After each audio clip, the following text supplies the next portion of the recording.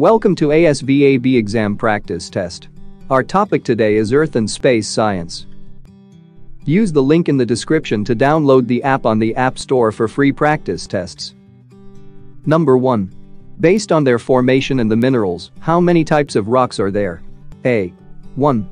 B. 2. C. 3. D. 4.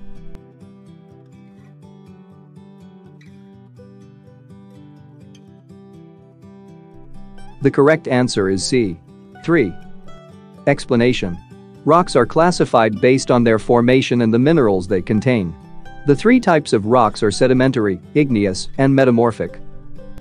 Number 2. Which statement is not true about sedimentary rocks? A. Sedimentary rocks are formed by the process of lithification. B. Sedimentary rocks are often formed in layers in the presence of oil. C. Sedimentary rocks may contain organic remains, such as fossils. D. Sedimentary rocks are organized into three groups.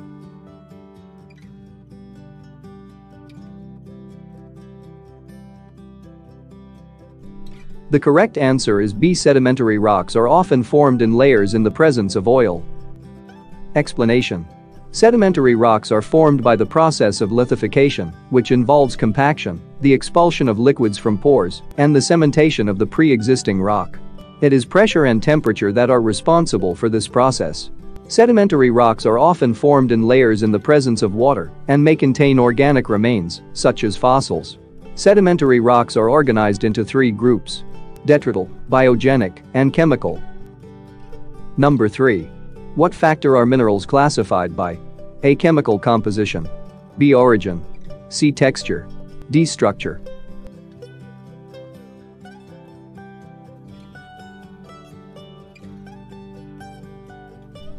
The correct answer is A. Chemical composition.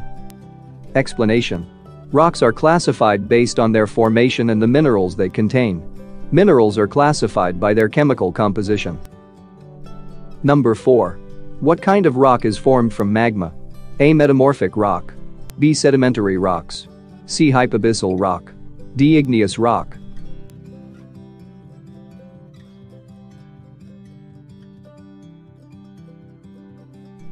The correct answer is D. Igneous rock.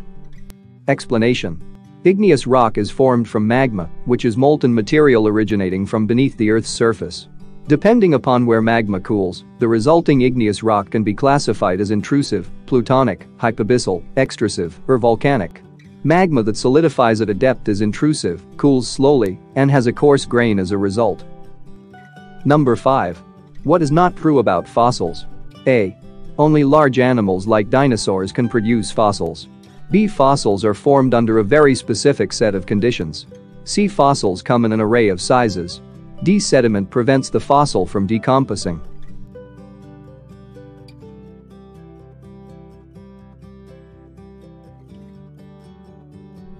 The correct answer is A. Only large animals like dinosaurs can produce fossils. Explanation Fossils are preservations of plants, animals, their remains, or their traces that date back to about 10,000 years ago. Fossils are formed under a very specific set of conditions. The fossil must not be damaged by predators and scavengers after death, and the fossil must not decompose. Usually, this happens when the organism is quickly covered with sediment. Fossils come in an array of sizes, from single-celled organisms to large dinosaurs. Number 6.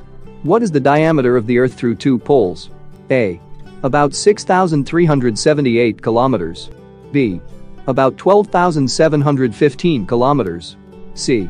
About 15,715 kilometers. D. More than 15,000 kilometers.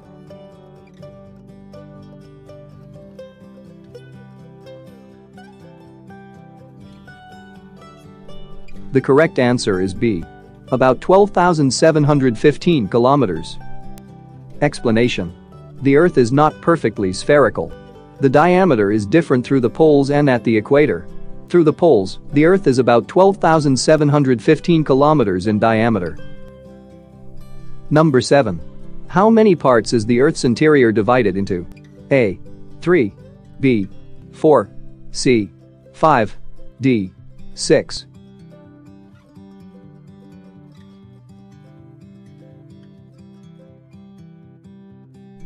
The correct answer is A. 3. Explanation. The Earth is divided into a crust, mantle, and core. The core consists of a solid inner portion. The mantle consists of a lower and upper layer. Crust is the outermost layer of a planet. The crust is underlain by the mantle. Number 8. Which of the following is an example of a mineral? A. Flaxseed. B. Micronutrients. C. Vitamin D. D. Sodium chloride.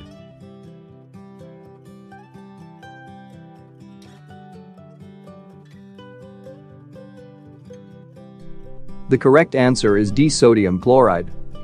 Explanation. Sodium chloride is another word for salt, a mineral. Flaxseed is a source of fat. Minerals are a type of micronutrient, but micronutrients are not an example of minerals. Vitamin D is a type of vitamin. Number 9. How many types of volcano are there? A. 2. B. 3. C. 4. D. 5.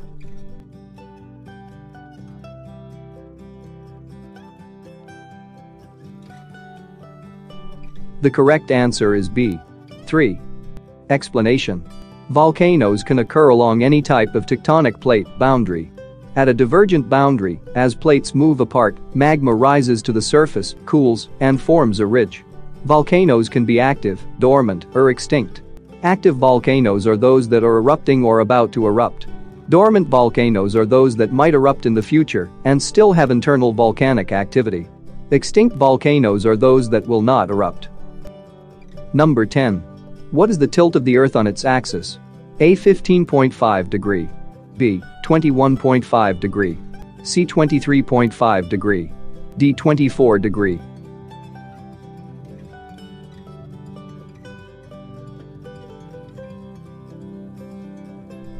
The correct answer is C 23.5 degree. Explanation. The tilt of the Earth on its axis is 23.5 degree. This tilt causes the seasons and affects the temperature because it affects the amount of sun the area receives. Thanks for watching. Don't forget to like, share and subscribe to our channel for updated videos every week.